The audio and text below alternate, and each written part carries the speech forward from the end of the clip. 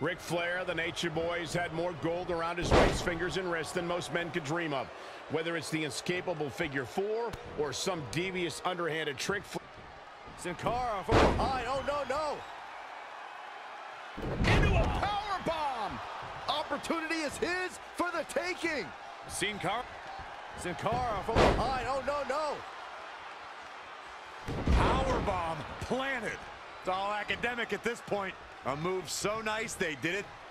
Oh, down he goes. May have him here. Oh, look Oh, at the oh, no. power. They got it. They got it. Nope. Looking at it here. One, two, three. Sin Cara wins. Sin Cara wins. Here is your winner, Sin Cara! Well, that one was over before it even started.